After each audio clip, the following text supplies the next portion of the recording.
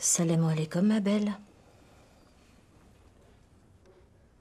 Tu sais que Fouad fait partie de mon équipe Très bien qui vous êtes. Tout le monde le sait. Je parle pas au koufar, moi. Tu me vois comme une coffard. C'est grave de décider qui est musulman ou pas, tu sais Seul Dieu sait, tu sais pas ça?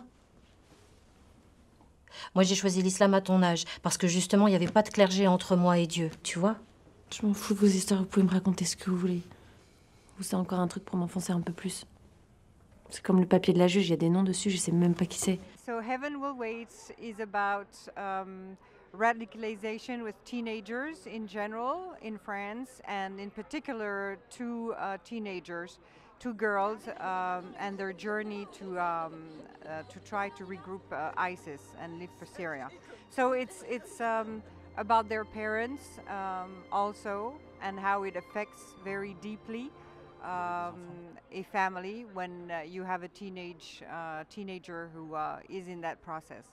Vous, vous allez comment? Je sais pas. On vit un peu au jour le jour. Moi, j'essaye d'apprendre à vivre sans raisonnement, sans, sans rationnel.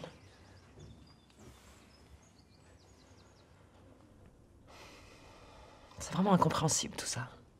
Unfortunately, we hold a record in France of um, teenagers being radicalized today. Um, so it is a very um, important uh, matter in our country, and um, a lot of people were not aware that it affected so much girls as much as it affects boys.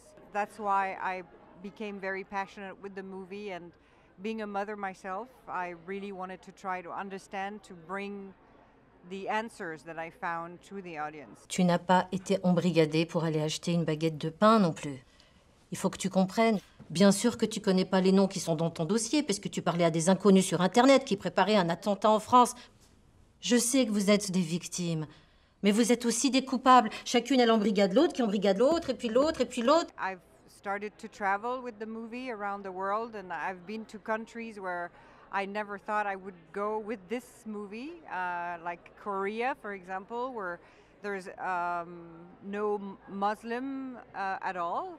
Uh, so, and it's very interesting to see how the movie is received because, moreover, um, uh, the religious and ISIS theme, uh, I think it also talks about being a teenager uh, in general and how it's a very risky time in your life um, where you can have a lot of behaviors um, that uh, will take you on very dramatic paths. So that's also about that, and that touches really any audience.